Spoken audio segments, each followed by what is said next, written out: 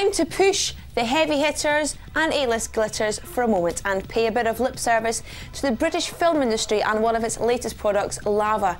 Written by, directed by and starring a triple threat called Joe Tucker.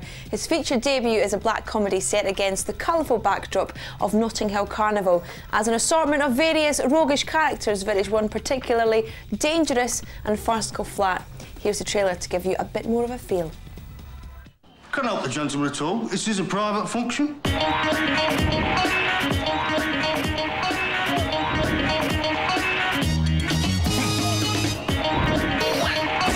a lot of money just for a gun, though, isn't it, Smiggy? Handgun sidearm, small arm weapon, yes. A gun, no. During this carnival thing today, we'll get this nut on. Is this for the carnival? No. Yes. No.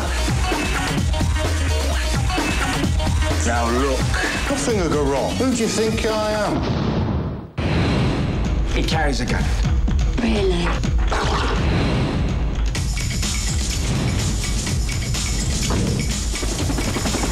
Okay, okay, karaoke. Okay. Keep it coming. Got plenty of room.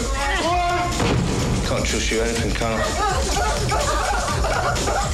Not only stupid, it's dangerous. Careful, I think he's dealing with a couple of idiots. Mr. Joe Tucker, a very talented man, and Lava is out now. Was released on Friday. See your local cinema for details. Now.